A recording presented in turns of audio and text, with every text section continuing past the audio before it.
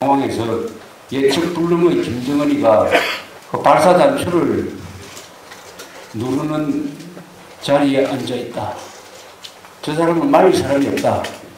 또 저 인간 자체가 발작할지도 모른다.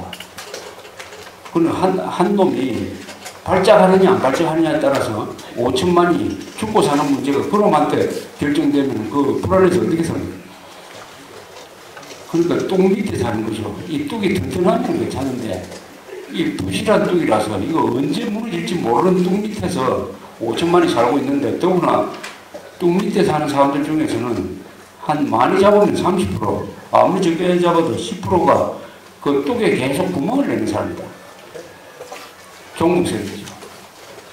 이런 상황에서도 한국 사람들은 그 누군가는 우리를 대신해서 지켜줄 것이다. 이렇게 생각을 하면서 하루하루를 아주 즐기면서 살고 있습니다.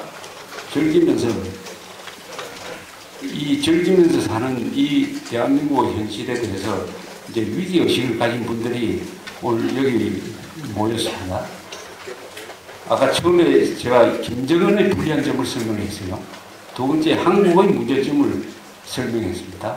한국에서는 지금 남북한 양쪽이 다 문제가 많아요. 문제가 많은데 이것이 어떤 힘의 작용에 의해서 어느 쪽으로 기울게 되느냐 하는 것은 결정되어 있는 것이 아닙니다.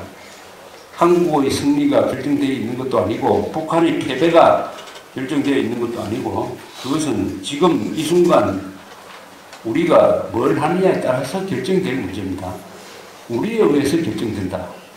한반도의 미래는 중국에 의해서 결정되는 것도 아니고 미국이 결정하는 것도 아니고 북한이 결정하는 것도 아니고 한국 사람 5천만 명, 이 대한민국의 기적을 만든 이 5천만 명이 이 문제를 나의 문제라고 생각하고 내가 가지고 있는 모든 능력을 발휘를 해가지고 나를 지키기 위해서는 과거에 우리 선배들이 더 어려운 상황에서요.